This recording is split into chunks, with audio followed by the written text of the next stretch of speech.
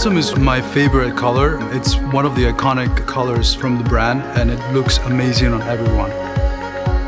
So I'm using Orgasm starting on the back of the cheekbone and softly blending into the apple of the cheek for a really natural flush look.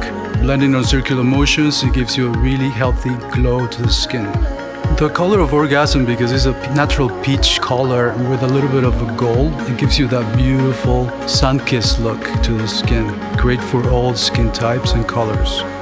Placing the color starting on the back softly just blends it more naturally because sometimes when you start on the front you get too much pigment on the skin so this way you get a little more contrast. The Yachiyo brush is perfect to blend because it's naturally shaped and it actually bounces a little bit so it helps to give you that sort of airbrush look. If you hold the brush from the base you'll grab more pigment and get more definition.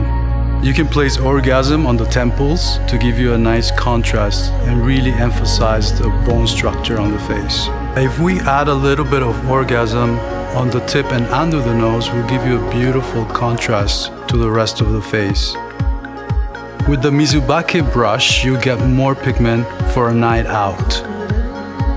This color is super buildable. You can easily go from day to night.